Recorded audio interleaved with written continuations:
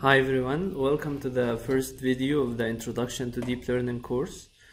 So in this video we'll discuss two topics. The first one is uh, basic introduction to the concept of learning. So what is learning in general? And as, as we go into defining what learning is, we will draw analogy uh, uh, to machine learning and um, and the components of a machine learning algorithm. And then the second part is a, a historical perspective. So we will try to understand what advances have happened uh, since the start of the last century uh, that led to the development of uh, current day machine learning algorithms.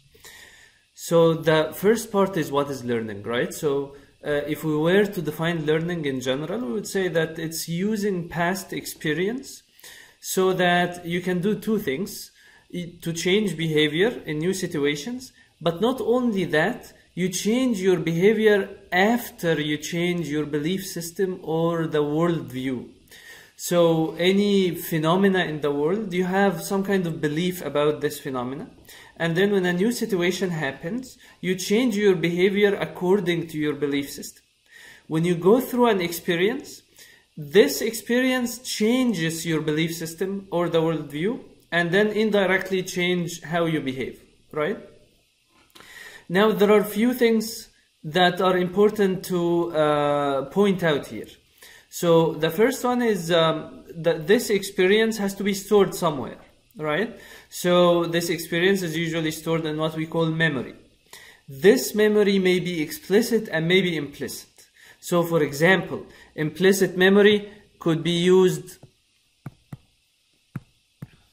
for driving, right? So, for things that we are doing subconsciously right? So while we are learning how to drive we store information about the experience and this ex- uh, information is implicitly uh, uh, stored in our memory right? But we cannot consciously or explicitly recall that memory right? Unlike the explicit memories uh, that that we have when we when we intentionally remember something right now, one other important thing to note is that this past experience, right, is not necessarily the same, right? Not necessarily identical or even very similar to the new situations.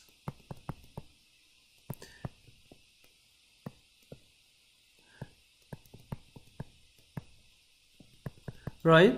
So so we do generalize right? So we try to instill um, we, we try to capture concepts from this experience so that we change our future behavior right so it doesn't have to be that we face the same thing again right and that, that's that's really what intelligence is about is that you're trying to uh, to figure out or extract the important concepts right because one other feature of these experiences is that it might not be very relevant to the new situations. So the past experience may contain information that you don't need in the new situation and may contain uh, and the new situation may contain information that's not available in the past experience right so these two components are very important uh, to uh, to be aware of the experience may contain information that's not useful and may miss information that's important. Okay?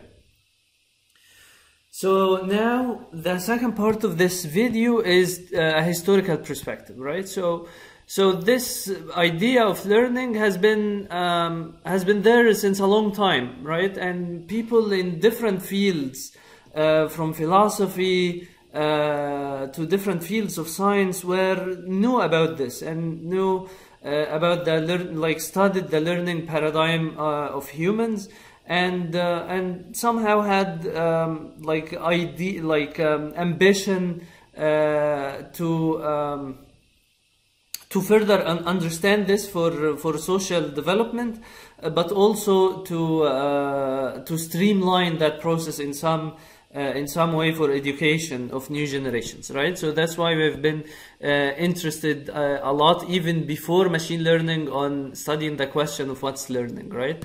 Now, what made us ambitious uh, to even imagine that we could build machines that do this? That's because of technological advances, right? But not only technological advances, there has been also advances in our knowledge that enable this ambition. So there are, you can imagine two different dimensions for the advances um, uh, that led since the start of the um, past century that led to the current machine learning paradigm. One is technological and the other is knowledge, right?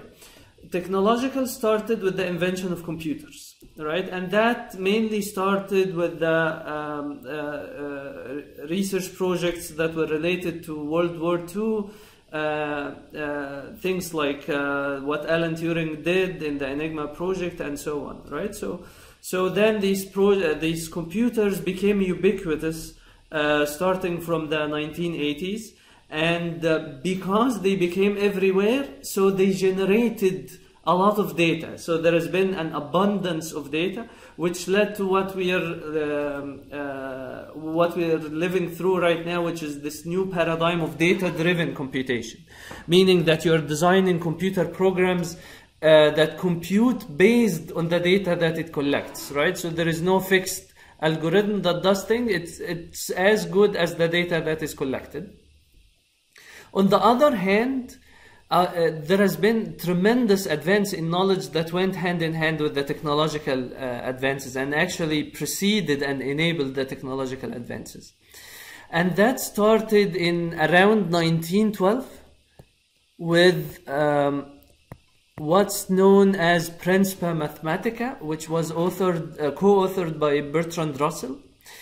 And there the idea was to formalize the concepts uh, of mathematics right? So we wanted to know uh, how to generalize and formalize all the concepts behind uh, what we call mathematics.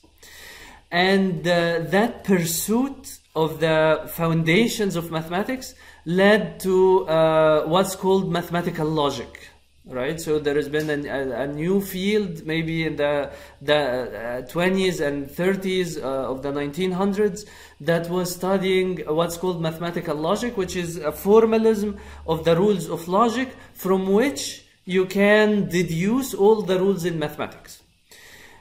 Alongside this, there has been advances in probability, right? So things that are random, that we cannot fully model, how to model these things, how to deal with uncertainty, right?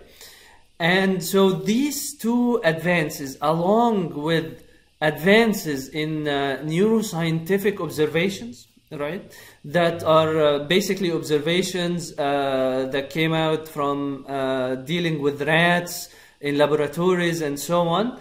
And these observations were about the nervous system and how the brain works and so on. Very simple observations, like some uh, what we call now neurons, like some electrical activity fires or completely is suppressed based on certain events and so on. So all these three led. Um, all these three led to a paper in the 1940s called A Logical Calculus of Ideas Immanent in Nervous Activity. And basically, the idea was that you take the observations in neuroscience and you build a mathematical model out of them. And then, which is the, basically the things that fire or not fire. And then the authors started to explore what would be the potential of uh, a mathematical paradigm like that. Now, this has happened in the 1940s and then gradually developed after World War II. And then something else developed after World War II, which is our understanding of optimization algorithms. Right, so how to formalize an optimization problem and find the optimal solution and so on, and what are the uh, uh, char uh, uh, characteristics of these optimal solutions. Now, these three things, this logical calculus of uh, observations uh, in neuroscience, along with advances in optimization algorithms and advances in data-driven computation, gave rise to the current paradigm for machine learning algorithms, which are data driven, they are inspired by mathematical models that explain the nervous activity, which is the neural model, and they rely on understanding the characteristics of solutions to well formalized optimization algorithms. Right, so um, uh, I hope this was useful to gain a historical perspective. And this course, we'll only be focused on the deep learning approach, which is one approach of handling uh, uh, machine learning or one branch of machine learning. And next, in the next video, we will try to justify the motivation behind this approach. Thank you.